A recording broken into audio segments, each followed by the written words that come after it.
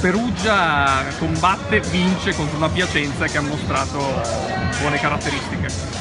Ma sì, combatte, vince, con Piacenza ci ha fatto vedere i denti e noi, noi siamo scappati via, tra virgolette, nel senso che loro sono stati bravi a mettere in campo la loro pallavolo e credo che noi non siamo stati altrettanto bravi a reagire alle cose buone che oggi Piacenza ha messo in campo. Quindi merito a loro che hanno fatto la loro partita, forse qualche riflessione anche noi che dobbiamo, dobbiamo farla per, per, proseguire il nostro cammino su playoff, quindi comunque purtroppo il quinto posto ormai credo che sia cosa fatta, eh, credo, non, non, ho visto la classifica adesso. Ma quindi di sicuro dobbiamo continuare ad andare avanti, il tempo ce n'è poco, siamo già pronti con i bagagli per Mosca, non li avevamo assolutamente preparati nella testa prima di questa partita, però di sicuro Piacenza ha fatto, ha fatto il, suo, il, suo, lavoro, noi